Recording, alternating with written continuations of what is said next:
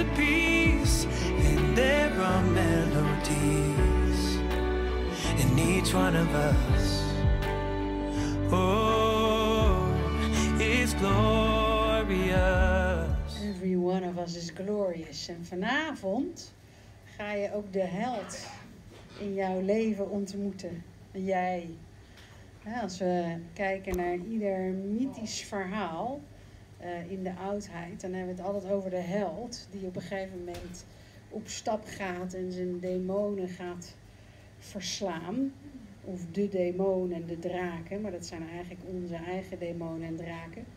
En ehm, op pad gaat en uiteindelijk weer terugkomt in, in liefde. En de liefde heeft gevonden. En bijna ieder verhaal gaat zo. En als je kijkt naar je eigen leven, dan is dat echt een mega helder verhaal.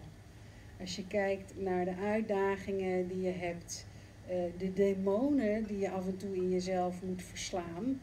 Ehm, en eigenlijk zijn we, ieder mens op aarde, op zoek naar liefde, naar geluk, naar verbondenheid, naar samen. Maar als je kijkt naar hoeveel tijd je daarmee bezig bent, dan is het eigenlijk schrikbarend weinig. Uh, we zijn veel vaker bezig met wat we allemaal nog moeten. Of ik heb het druk, ik heb geen tijd. Of je, soms heb je het gevoel dat je wordt geleefd uh, door je eigen agenda. Soms heb je het gevoel dat je wordt geleefd door je eigen gedachten, door je eigen gevoelens. En dat je denkt soms, waar ben ik eigenlijk nog? Nou, dat is die held. Die held die op zoek gaat, de haar en zijn demonen verslaat en uiteindelijk thuiskomt bij zichzelf. En dat is wat we vanavond gaan doen. Um, iedereen die zich heeft opgegeven, heeft ook gezien dat ik al wilde dat je dit heldenverhaal uh, las of voorbereid of aan het schrijven was. Uh, hoeveel hebben dat gedaan? Oké. Wie heeft het helemaal niet gedaan? Oké, okay, nou heb ik een beetje een indicatie van mensen die dat niet doen. ja, maar dat is helemaal oké. Oké, okay, maar dan weet, ik, dan weet ik een beetje uh, hoe of wat. En vanavond um, ga ik jullie eigenlijk daar uh, iets over vertellen over de levensinitiaties. En de levensinitiaties uh, zijn eigenlijk doorgegeven een aantal jaar geleden, ook door de ongeziene wereld. Maar het is eigenlijk een heel praktisch model.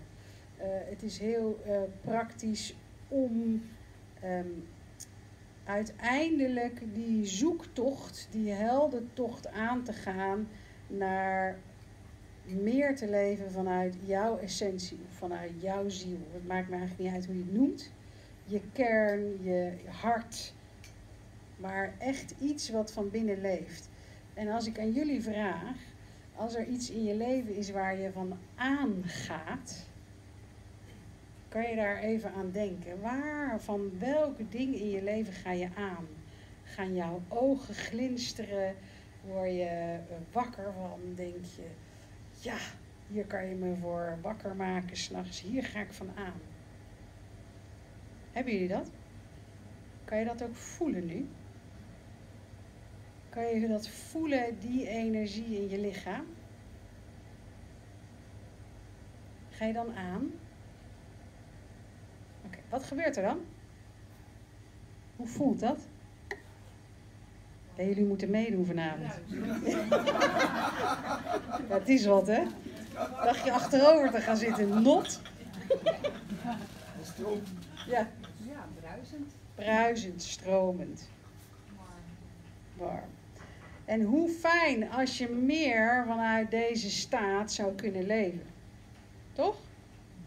Maar ook hoe fijn als je meer vanuit deze staat zou kunnen creëren. Deze staat is het tegenovergestelde van die staat van angst of haast of druk, waar we ook zo vaak uit creëren. Oké. Waar we mee gaan starten is met de levensinitiaties. En, oh, blijf staan. En die staat beschreven in deze. En een aantal van jullie zullen deze al hebben. Dat was de laatste. hemeltaal, eigenlijk de conversatie met mijn vader. Maar deze is eigenlijk bij mij altijd het stukje geweest ehm, wat zo de weg kan wijzen voor jou om, om meer te leven, om meer verbinding te maken met jouw eigen essentie. En het leuke is dat in hemeltaal, en dat wat mijn vader uh, doorgaf um, sinds hij is overleden, is één ding wat constant terugkomt in de hemeltaal. Hoeveel mensen hebben hemeltaal gelezen? Nou, zie je, dat zijn een heleboel. Um, in de hemeltaal komt heel vaak terug, zegt een herhaling, over de scheppers die we zijn. Ja, hè? Die, dat blijft terugkomen. Wij zijn de scheppers van ons eigen leven. En heel praktisch, als je kijkt naar, een, naar mensen met heftige angststoornissen, dan zie je al wat ze doen met hun leven en hoe ze het scheppen. Het begint met een gedachte, dat maakt vervolgens emoties aan, hè, dus echt chemie. En er ontstaan allerlei hormonen en chemie in je lijf. Het is een letterlijke manifestatie van één gedachte. Ja? Dus zo scheppen zijn wij in ons leven, alleen we zijn er eigenlijk ook niet mee opgevoed. En um, waar zijn wij mee opgevoed? Dat is één verhaaltje wat ik jullie even voor ga lezen.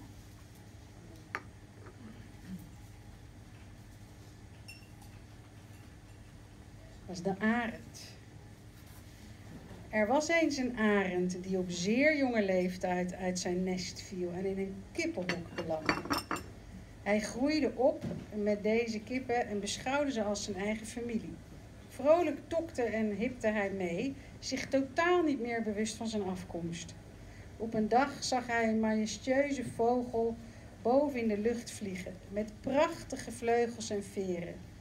De jonge vogel droomde van een leven, zoals die prachtige vogel daarboven.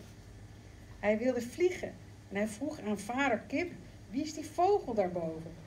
Oh, dat is een arend die kan vliegen en boven alles uitstijgen. Helaas zijn wij slechts kippen. Voldoe je, niet, je tijd niet aan dromen. Je zult nooit een arend worden. Teleurgesteld en een droomarmer tokte de jonge arend verder in het kiphok. Maar iets in de jonge arend bleef aan hem knagen. Hij werd ook steeds ontevredener met zijn leven tot dan toe en kon zeer onaardig worden tegen zijn kippenfamilie. Ze begrepen er niets van. En ze zeiden, ach, hij heeft waanideeën dat hij kan vliegen hoog in de lucht.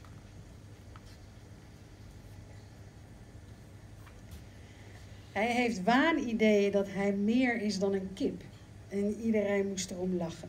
En ze lachten hem uit. Maar de jonge arend liet het idee en het gevoel niet meer los.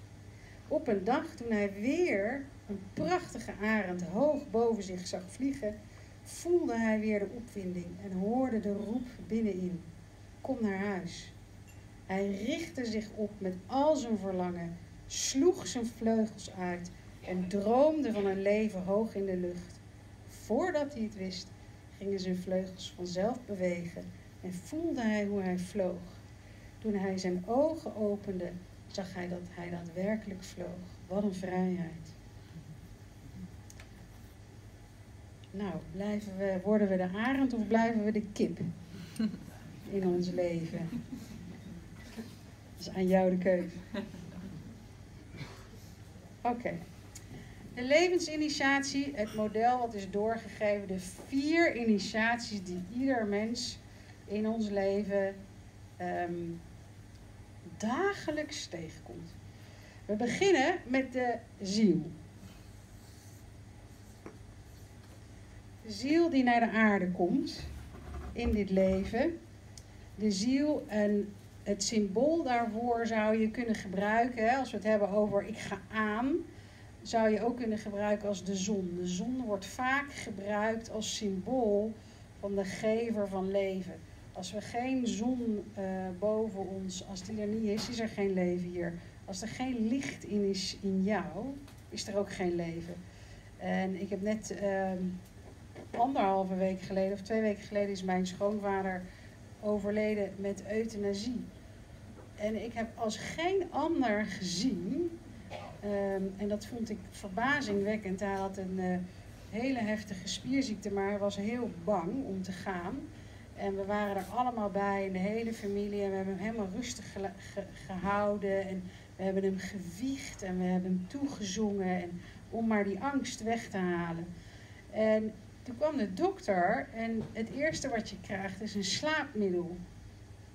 En hij, hij, uh, het laatste wat hij zei, je hoorde hem zeggen, oh, ik voel het, dag allemaal.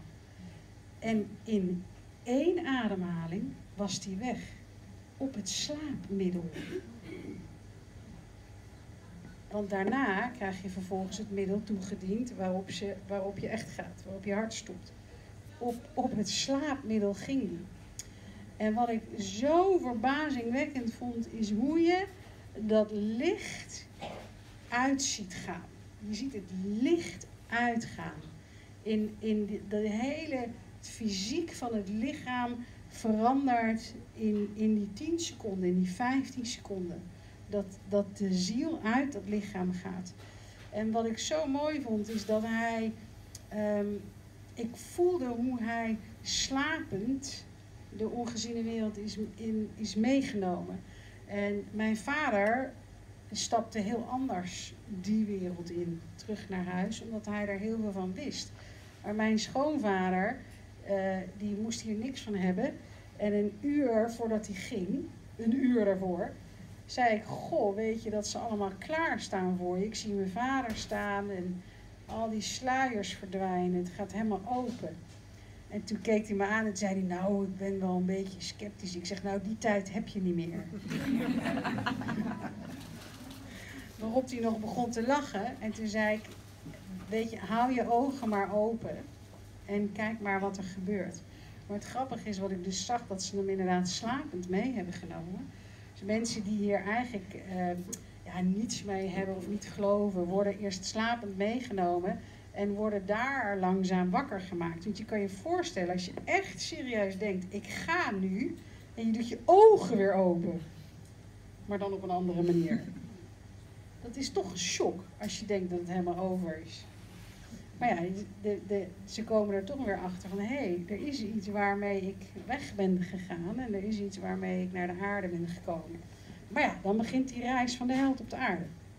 Dan word je geboren. Dan begint het. En in die eerste jaren krijg je deze twee lagen om je ziel. Dit is de pijnlaag. En dit is de persoonlijkheid. Nou denken jullie allemaal dat je je persoonlijkheid bent, maar dat is niet zo. Het is allemaal aangeleerd. Het is je zelfbeeld.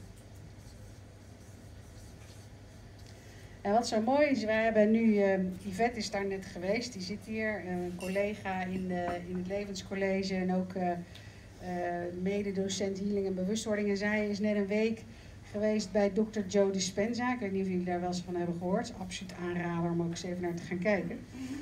Maar hij heeft, geeft veel informatie. heel leuk, want hij maakt eigenlijk dit wat ik heb ontvangen vanuit die wereld benadert hij eigenlijk vanuit een hele praktische, wetenschappelijk, zelfs biologische uh, weg. En het is toch wel heel mooi om dat te combineren. Dus je kan je voorstellen hoe juichend wij stukken lezen en denken: zie je, het is wel meetbaar, het is wel bewezen. Dus dat is wel heel leuk. Maar wat hij zegt, en uh, niet hij, maar die komt meer uit de psychologie.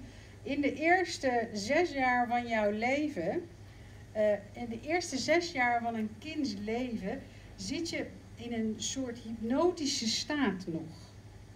dus we hebben eh, hersengolven. Zijn we heel gestrest, hebben we hele snelle golven. Dat voel je ook.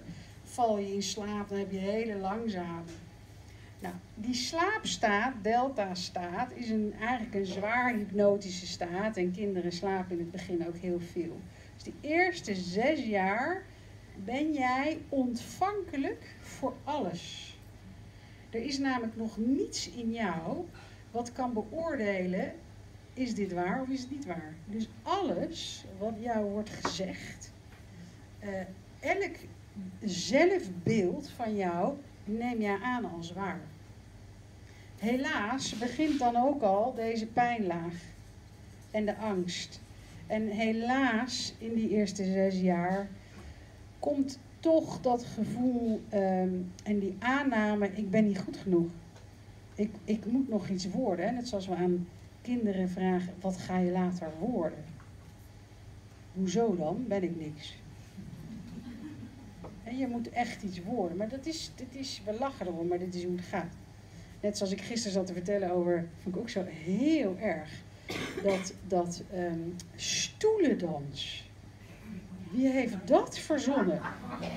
Dan ben je op een partijtje en is zo leuk en dan dans je om die stoelen en dan gaat de muziek uit en dan zie je dat er één overblijft en dan zegt zo'n ouder, jij bent af. Jij moet daar naartoe. Dus dan gaat de muziek weer aan. Nou, niks dansen. Iedereen is bezig om de ander weg te duwen, want je moet die stoel veroveren. Dus die programmering van ik moet eerder zijn dan jij. Echt heel apart eigenlijk. Echt, en ik vond het zoiets stoms. Ik werd zo zenuwachtig van dat. Want je, en ik werd ook zo bijna agressief, wegduwerig. En hoezo stoelendans? Er werd een stoelengevecht. Nou, dan zie je een beetje leuk die eerste zes jaar. Wat je dan allemaal te horen krijgt. Hè? En, wat je dus, en, en we denken echt wat leuk is. Maar als je erover nadenkt, is het helemaal niet leuk. Uh, de eerste, de eerste uh, vind ik ook altijd zo mooi. Als je gaat kijken naar die kleine mannetjes die voor het eerst gaan voetballen. Of, of meisjes en jongetjes die voor het eerst gaan hockeyen. En de ouders die ernaast staan te schreeuwen: Schreeuw op en maak ze dood en rennen! En, en dan zie je sommigen echt kijken en huilen en het niet begrijpen. Maar toch gaan ze het begrijpen, want dat is hoe die programmering is. En helaas is dat in die hypnotische staat zo onbewust. Oké, nou, dus je kan je voorstellen hoe jij geprogrammeerd bent. En tot je twaalfde, dat is ook wel grappig, want daar zat ik over na te denken. Tot je twaalfde zit je in de alfa-staat. En in de alfa-staat kom je als je van dat, dat kritische denken, dat analytische denken in je net zakt. Hè? In meditaties of in een trance. Of als je, in een, als je aan het sporten bent, dan kom je ook in een soort. Weet je, zo. Dat is de alfa-staat. Dus je bent niet heel alert met je hersens. Tot je twaalfde heb je dat als kind. En het viel mij dus op, toen ik over na te denken, dacht ik, ja, vaak zie je ook kinderen echt stress ontwikkelen vanaf de middelbare school. Daarvoor nog niet zo. Maar dan opeens begint het. Hè? Dan komt ook dat ik-besef. Dus we hebben dan ook heel duidelijk, identificeren we onszelf met dit beeld. Oké, maar we zijn dit. Die zijn we inmiddels vergeten. Ja? Nou, dan krijg je de vier initiaties. En waar het eigenlijk om gaat, hoe kom ik van deze laag, hoe kom ik van die persoonlijkheid, hoe kom ik van mijn onbewuste programmeringen. En als je kijkt in het lichaam, dan is dit bijna uh, eh, 95%.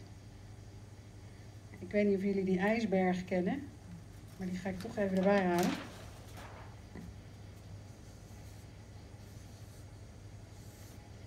Dit is de ijsberg. Dus het bewuste deel van jou is 5%. Het onderbewuste deel is 95%. Hier zit het kritische denken. Kan je vast niet lezen daarachter, hoe ik het schrijf. Um, en hier kom je ook veel meer in gevoel. Hier zit je in de delta-staat. Ik zal iets groter schrijven. Hier alfa, en hieronder, oh nee, dit is beta, sorry. En hier kom je onder in delta. Nou, er is nog iets onder, maar daar begin ik niet over. Um, als, je, als je doorkrijgt dat die, die twee ringen 95% van jou is, dan is het een ingewikkeld proces om dat met jouw bewuste denken te veranderen.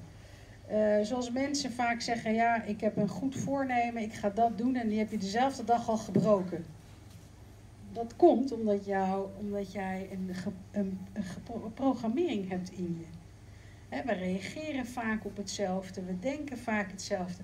Het schijnt zo te zijn, voor nog erger, dat 95% van je gedachten vandaag hetzelfde zijn als gisteren. Wat zijn we aan het doen? Stel kippen in een kippenhok. En, en het is echt heel apart, vind ik dat. Als je dat zo bewust wordt. Jeetje, ik blijf maar in die programmering. Nou, die initiaties wat zij doorgaven, ze zeggen je hebt er vier. De eerste is water. En water staat symbool uh, voor jouw gevoelens. Dus je kan je voorstellen dat um, soms merk je dat ook, dat je gevoel als golven over je heen slaat. en wat is de bedoeling?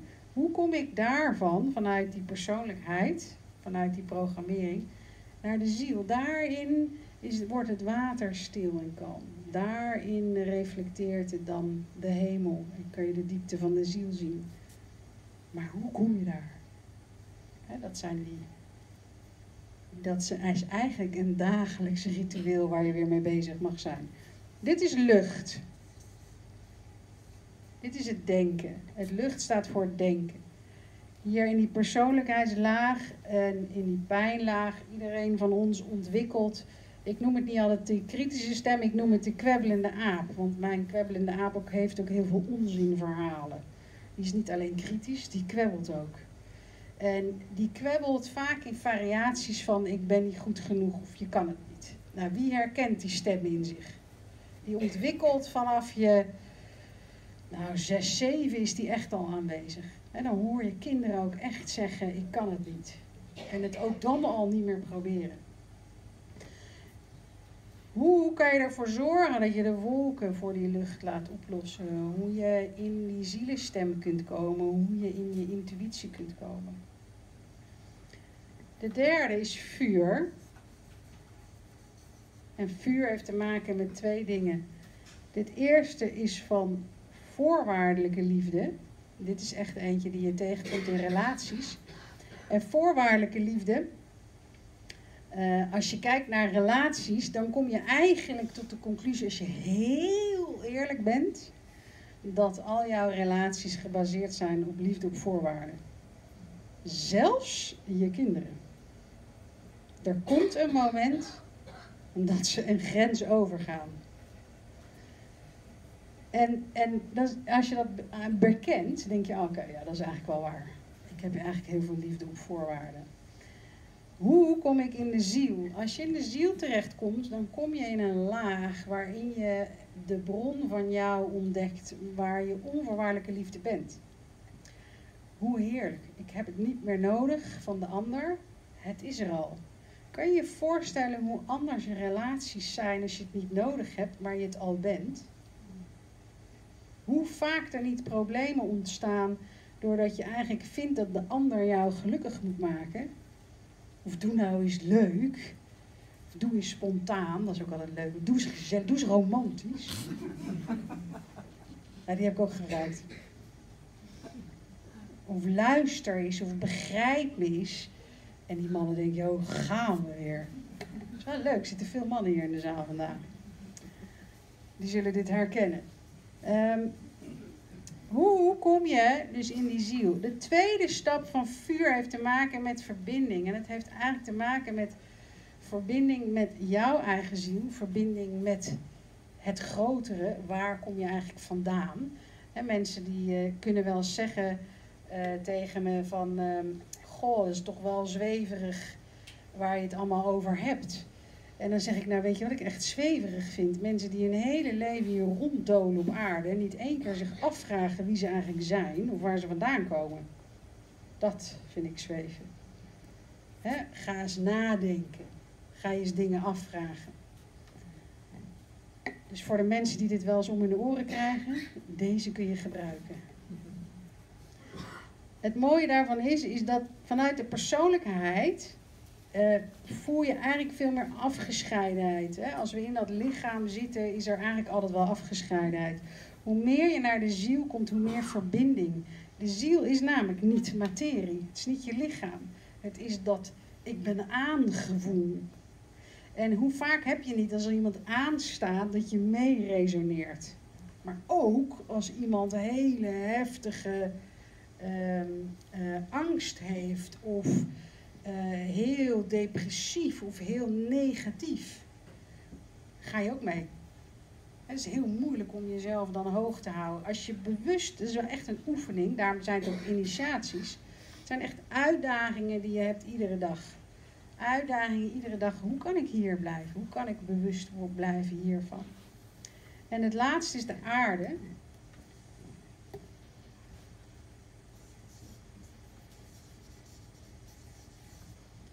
En de aarde heeft namelijk te maken met zowel het fysieke lichaam als jouw manifestatie hier op aarde. Dus wat zet ik neer op aarde? Zet ik altijd mijn zelfbeeld neer? Leef ik uit angst? Of leef ik dat wat ik echt wil?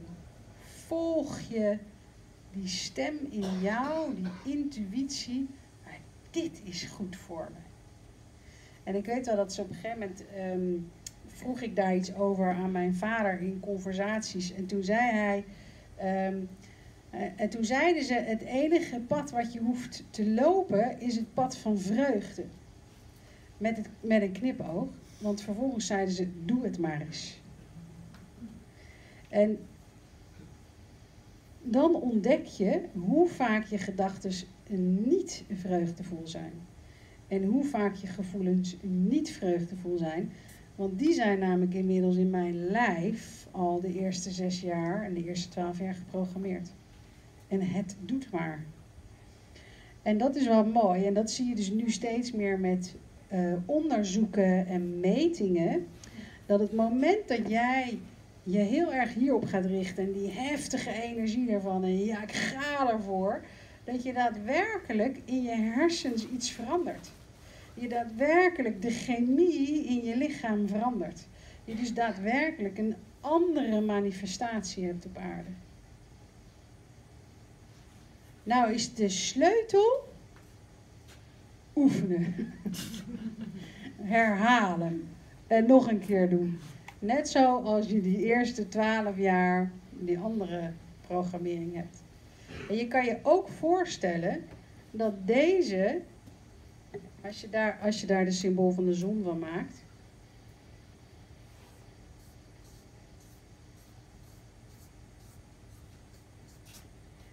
Als je hem steeds sterker maakt, jouw licht. Als je hem steeds groter maakt.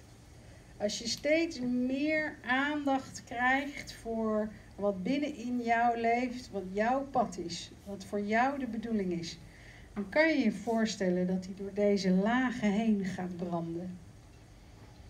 En nou is het mooie, vind ik, van de levensinitiaties. Want wat zij dus tegen mij zeiden, nou ben ik notabene psycholoog. Uh, en dat is wat psychologen doen. Die gaan vanaf de persoonlijkheid met iemand aan de slag. Die kijken naar de pijnlaag. Die rommelen daar wat in en sleutelen daar wat in. En maken een nieuw zelfbeeld. En dan tien jaar later gebeurt er iets, nou eerder een jaar later gebeurt er iets uh, schiet je er weer in en zeggen mensen: oh, Ik heb toch nog niet verwerkt. Oh, volgende therapeut. En zo zijn ze jaren, ja, dat is eh, jaren bezig van de een naar de ander, naar de volgende. Maar je hebt het over 95% programmering in je lijf. Wat sowieso afgaat. Ja, dus je kan je voorstellen hoe sterk deze moet zijn. En vanuit de levensinitiatie zeiden ze tegen mij: Wij willen niet dat je van buiten naar binnen gaat. Je gaat van binnen naar buiten.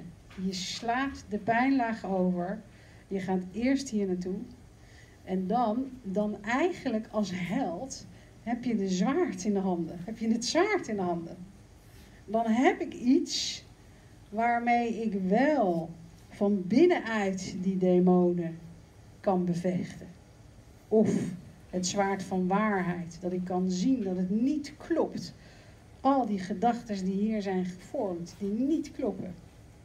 Al die aannames in, in ons leven van hoe we moeten zijn. En ze kloppen niet.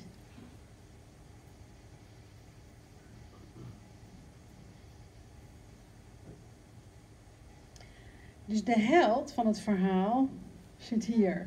En de held van een verhaal, van het verhaal, de held van jouw leven, Jullie hebben ook echt een taak daarin en dat merk je ook. En je hoeft het niet te doen, maar je kan het wel doen. En met hoe meer je het doet, met hoe meer je bezig bent, om jouw frequentie te verhogen. Want je kan je voorstellen, als hier die pijnlaag zit. ehm, eh, als jij iets meemaakt wat heel erg is, eh, dan blijft dat heel lang aan je hangen. Vind je niet?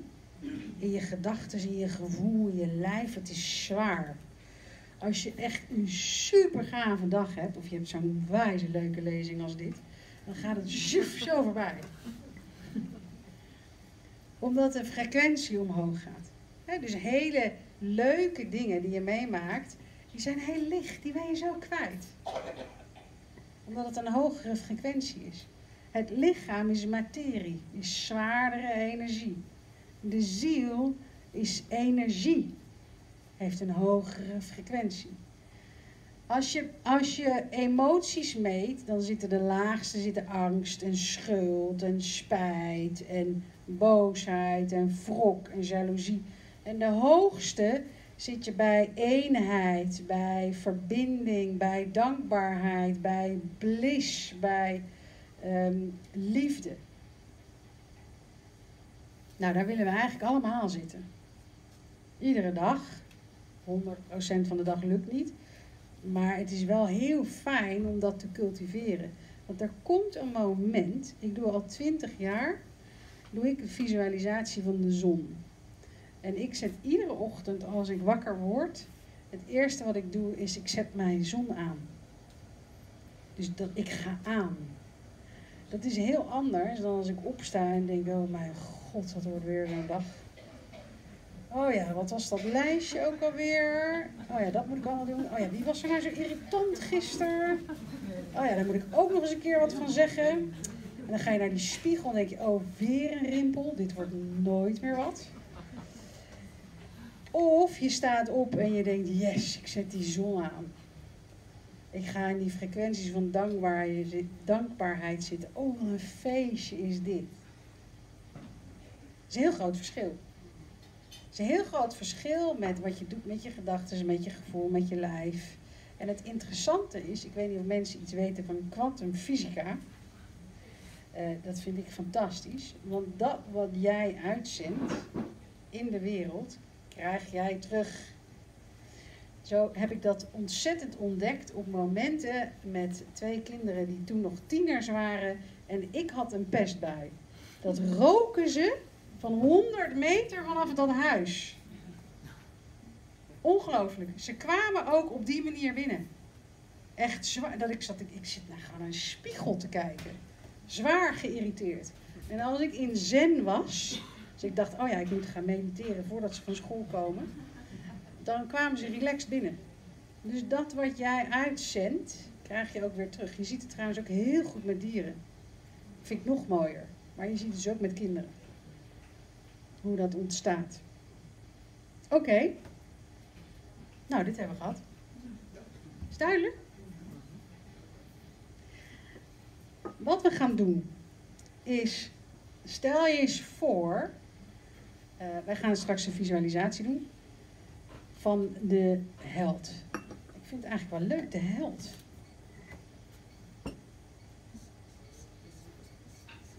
De ziel wordt de held. Voortaan. Ik ga hem veranderen. Ik ga hem herschrijven. Hier vandaan staat er help. Ja, maar het is held. Dus het ligt eraan wat jij doet met je hersens. Wat jij wil geloven wat daar staat. Dat bepaalt namelijk hoe je je voelt. En vervolgens hoe je de visualisatie ingaat. Oké? Het is held. En, en stel je eens voor, dat is wat ik namelijk wil dat je doet. Stel je eens heel even voor dat jij die zon bent. Iedere ochtend doe ik hem aan, iedere avond doe ik hem ook aan. Maar stel je eens voor dat jij die held bent, dat jij die ziel bent. Stel je eens voor hoe jij zou zijn. Gooi hem gewoon hier in de, in de lucht. Als jij deze twee lagen niet zou hebben. Kan je dat voorstellen? Jullie ook? Hoe voel je je dan? Zuiver, licht, vrij, alle ballast weg. past niet meer in mijn lichaam. Jij past niet meer in je lichaam. Alle ballastwerk sta je ook achter het, onder het afruimvleugel. nou, jullie zitten daar namelijk al de hele tijd naar te kijken. Afruimvleugel. Dus we gaan vanavond afruimen. We gaan de ballast afruimen. En die zetten we straks aan de... als je wegloopt, dan zet je het daar neer. Bij de afruimvleugel, oké? Dus al jouw ballast, al jouw pijn en dingen, die, die mag je daar achterlaten. Dus straks stap jij als held hier de deur uit. Hoe zou dat zijn? Kijk, hè? Oké. Nu gaan we die visualisatie doen. En wat ik jullie wil vragen is om eh, de telefoontjes uit te zetten, ook geen gezoem. En we gaan het met z'n allen doen. En waarom eh, met z'n allen en hoe meer, hoe beter? Omdat we enorm daarmee de energie gaan verhogen met z'n allen. En als er één niet mee trilt met iets, hè, dus je hebt een heel veld van poppetjes die zo gaan en één gaat de andere kant op, die moet wel mee. Uiteindelijk moet je mee. Dus je wordt mee, we trekken elkaar mee omhoog. Zin in? Oké.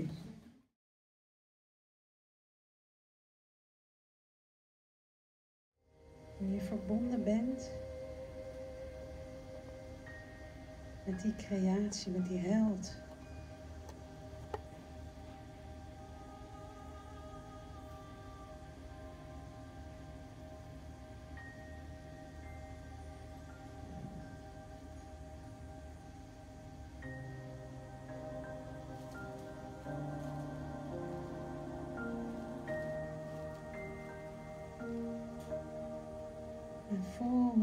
Hart instroomt.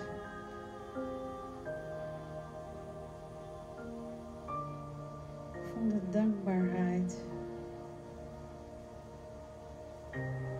Voel de liefde voor jou. Voor jou als held. Voel je kracht.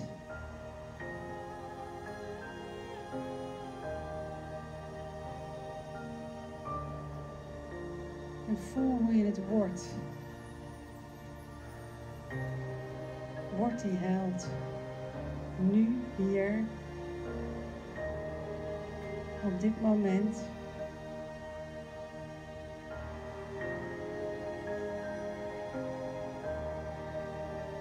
In iedere cel, in iedere gedachte.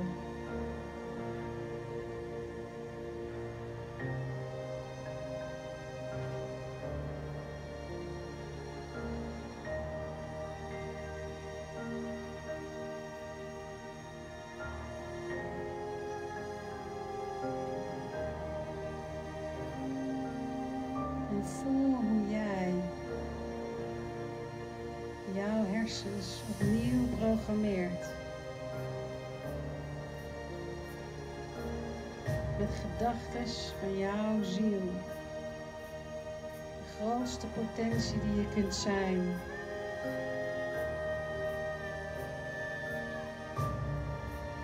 Voel hoe jouw hart zo ver reikt zo sterk wordt.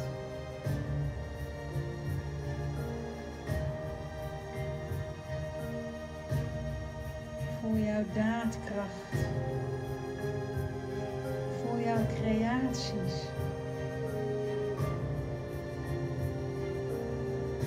Jij bent de held.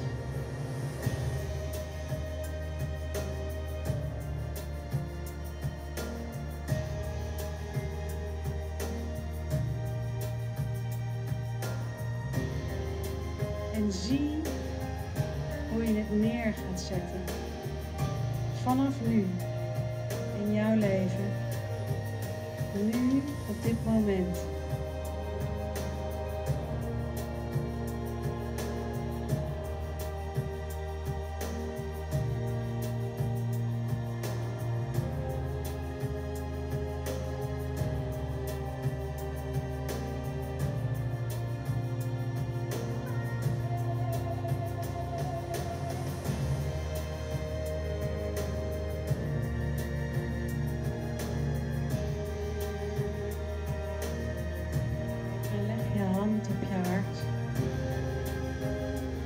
zegen jezelf. Die prachtige ziel die je bent. Die die reis maakt hier op aarde. Wat een held ben je. Met al die uitdagingen. Maar ook met al jouw kracht.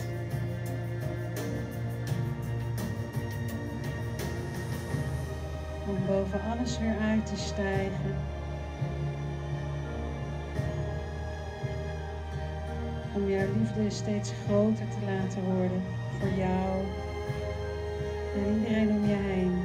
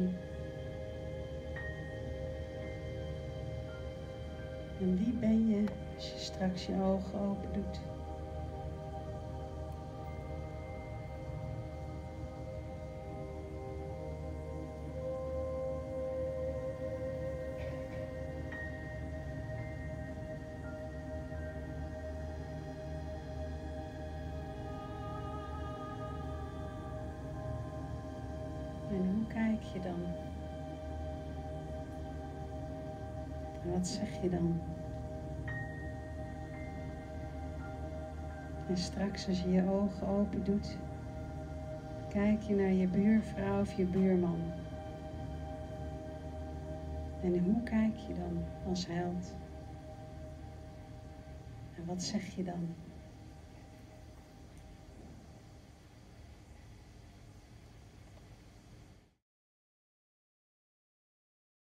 En ergens voelde ik er net, ja, wat is het beste om het donkere in jou te omarmen met jouw licht?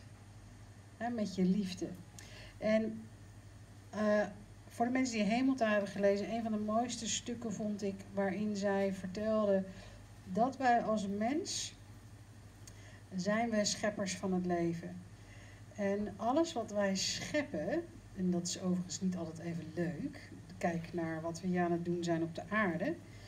Alles wat wij scheppen, het feit dat wij medeschepper zijn en die eigen wil hebben en die eigen scheppingskracht, getuigt toch ergens van een hele grote bron van liefde. He, niet een, een, een iets wat ons in de gaten houdt of zegt dit kan niet zo. We gaan deze creatie nu stoppen. Nee, ergens is dat ook als ouder naar kinderen dat je ze toestaat om die creaties te maken. Maar het vangnet ben je wel altijd. Hoe ongelooflijk mooi is dat?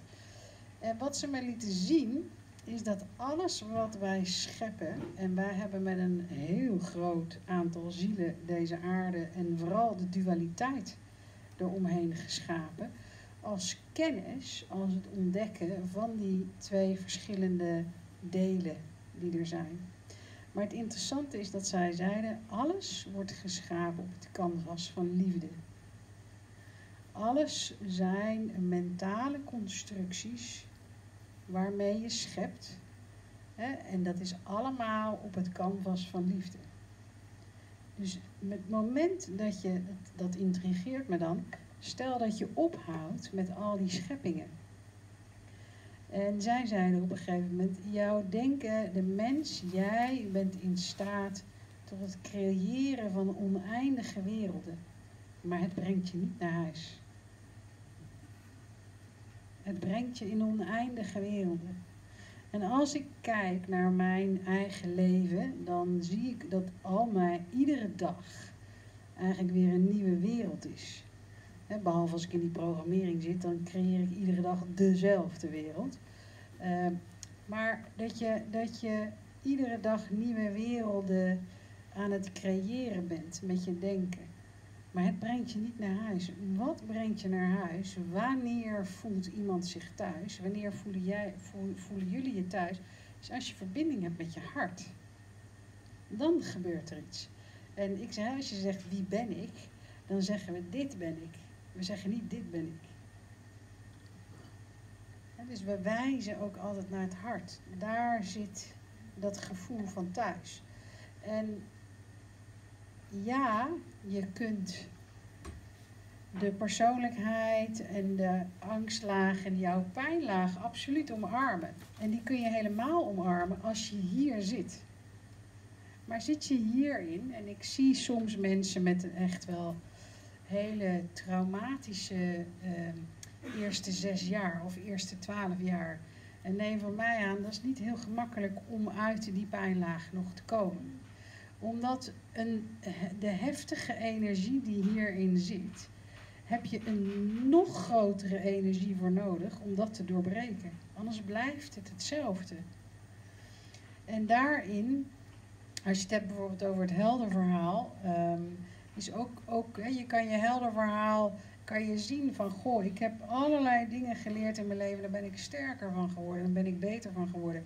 En ik heb ook gezien dat met mensen met een zwaar trauma of echt iets heftigs wat is gebeurd, dat ik ze de gebeurtenis zelf laat herschrijven. Dus dat je eigenlijk een andere creatie maakt van dat wat er is gebeurd. En het is verbazingwekkend hoe het verleden vanuit het nu geheeld kan worden. Dat is zo bijzonder. Als je kijkt, als je het hebt over de kwantumfysica en mechanica, dan is alles het eeuwige nu. En hoe meer in energie, er is geen tijd en er is geen plaats. Hoe meer we in de materie zitten en in dat lijf, hoe meer alles vanuit een lineair denken is. En ik weet nog dat ze op een gegeven moment mij lieten zien, en, en als je het hebt over um, de derde dimensie waar we nu in zitten, lieten ze me een, iets van de vijfde dimensie zien. Dat, dat is bijna onmogelijk voor je hersens, voor het lage uh, bewustzijn waartoe ik dan in staat ben. En um, met mijn vader heb ik dan regelmatig uh, conversaties. En ik, ik moest de laatste wel erg lachen. Dat was uh, twee dagen geleden. Vroeg ik mij af waarom mijn schoonvader niet um, meer contact zoekt. Eh, Oké, okay, is twee weken geleden, maar ja, toch. Mijn vader begon twee dagen later. En uh, waarop mijn vader zei: Nou, niet iedereen wil met jou een boek schrijven. die vond ik echt zo grappig. En, um, maar in die, in die um, conversaties die we hebben, liet hij op een gegeven moment die, dat zien en vertelt hij ook dat wij zijn in staat tot een bepaalde frequentie door het denken wat we hebben. Vergelijkend, met een, vergelijkend weer met een berg, maar niet nu een ijsberg met water, maar een gewone berg. Waarin als je, als je daaronder rondloopt in het donker met het bos, in de gevaarlijke dieren en het is eng en, uh, en oh ik heb een probleem en hoe moet ik daarmee omgaan, dan proberen we het allemaal vanuit dat stukje op te lossen. En het enige wat ze dan zeggen, en dit geldt voor ieder probleem in je leven, het enige wat ze dan zeggen, stop, loop omhoog. Breng jouw frequentie omhoog. Loop omhoog op de berg. Je komt halverwege en het uitzicht is heel anders. En dan kom ik halverwege en ja, ik heb het gevonden. Zegt hij nee, loop door. Loop nog verder omhoog. Omdat je dan het geheel gaat zien. Omdat je van boven kan gaan kijken, wat gebeurt er allemaal? Wat is er aan de hand? En je kunt je voorstellen dat, dat je anders leeft als je onderaan de berg leeft met uh, in het donker, in het bos, hoe je staat op de top van die berg. En ik vind dat een hele mooie metafoor.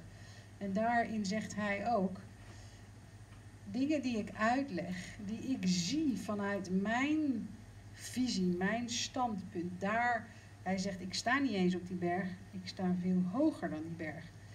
Die kan jij niet echt begrijpen als je onderaan die berg blijft dwarrelen. Dus ik zal echt iets moeten doen om meer te gaan begrijpen.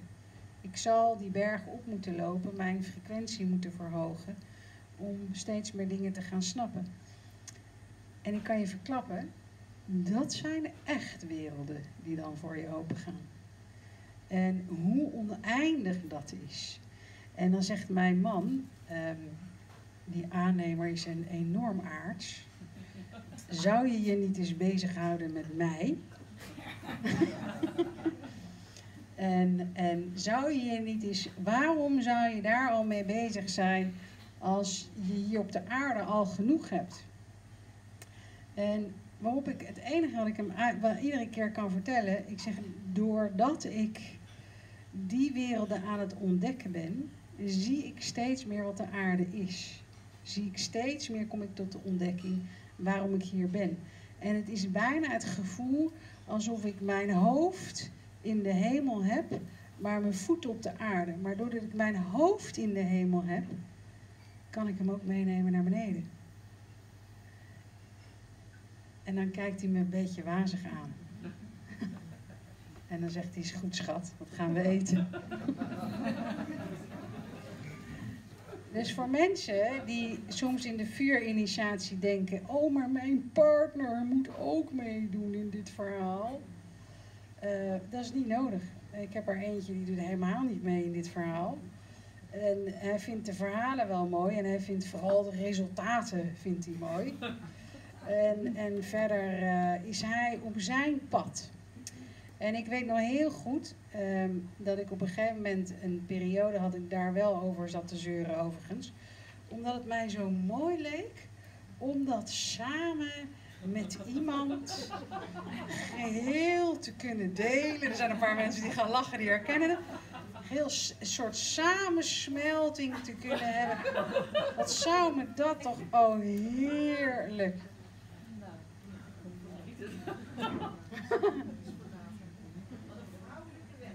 Wat een vrouwelijke wens was dat.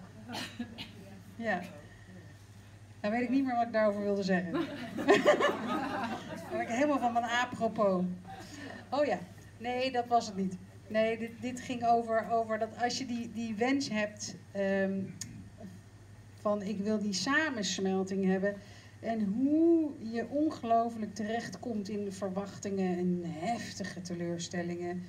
En, en in, in gevecht en in wat dan ook. Ik weet het al. En toen weet ik nog dat op een gegeven moment, ik weet niet of jullie Amma kennen, dat is die Indiaanse knuffelguru.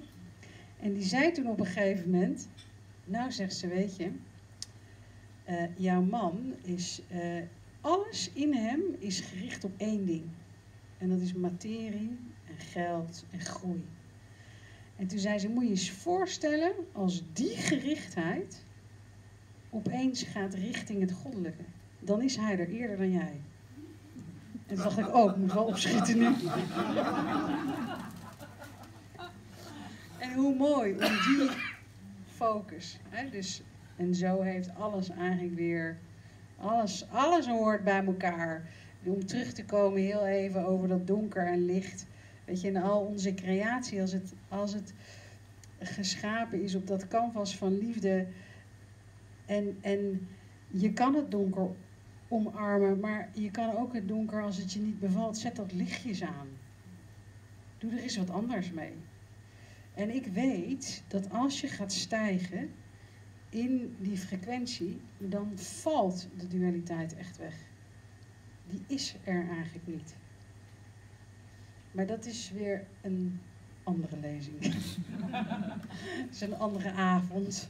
Dan moeten we weer in andere frequenties komen om die breincellen eens aan te doen en om dat te snappen.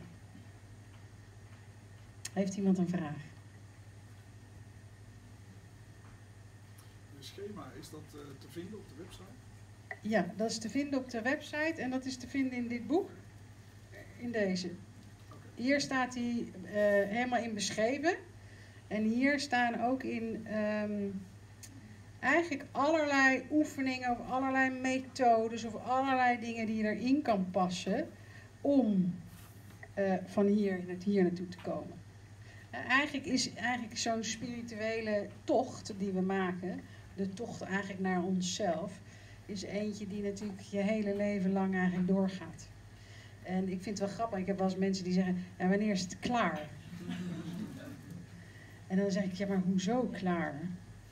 Ehm, ja, nou ja, god, ik wil weer eens met wat andere dingen bezig zijn. Ik zeg, dat is ook goed. Weet je, is prima. Ehm, ik kan me er inmiddels niet zoveel meer bij voorstellen. Sterker nog, dat had ik mijn hele leven al niet. Eh, omdat bij mij nooit helemaal die sluiers er overheen zijn gegaan. Dus ik weet dat ik, ik, ik geloof dat ik zes of zeven was. Toen zat ik nog in mijn hypnotische delta-staat. Toen zei ik tegen mijn moeder: Mam, jij hebt echt niet begrepen waarom je hier bent. Jammer. Moet je je voorstellen dat je zo'n kind hebt.